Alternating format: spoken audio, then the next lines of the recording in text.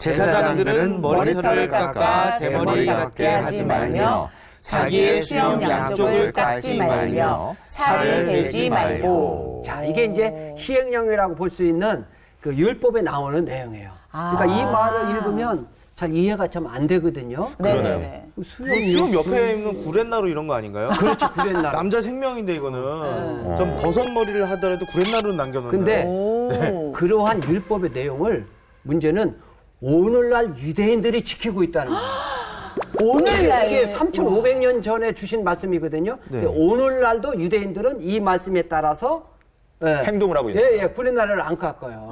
예, 이- 이스라엘에 가면 정통 유대인들이 있어요. 철저하게 율법을 지키는 사람들. 지금 저기 보이는 곳이 이스라엘 예루살렘에 가면 통곡의 벽이라고 있어요. 네, 이렇게 오늘날 여기 정통 유대인들이 네. 이제 많이 와서 어, 토라라고 그러죠. 네. 성경을 이렇게 소리 내면서 읽고 머리에는 뭐 경대를 저렇게 하고 어, 그다음에 이제 기도를 하고 그런 모습인데 옆에 털을 안 깎으셨어요.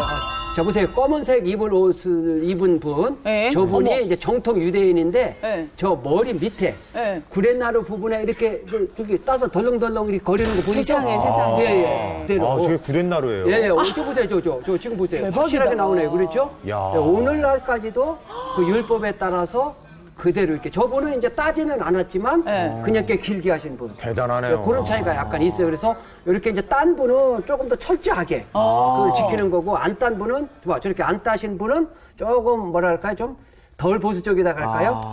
예, 지키긴 지키는데 이제 그런 차이로 이렇게 볼 수가 있어요. 아, 오히려 보수적인 느낌보다 패션적인 느낌이 더 받는 것 같아요. 맞아, 맞아, 맞아. 자 지금 어, 저기 이렇게 둘둘둘 말은 네네. 두루마리에 무슨 글씨가 써 있잖아요. 네. 저게 이제 오늘날 우리로 말하면은 그 유대인들의 성경이에요. 어. 이걸 우리는 모세 오경인데 토라라고 그래요. 토라? 네, 토라. 토라. 네, 저거를 이제 막 소리 내서 읽기도 하고 그러죠.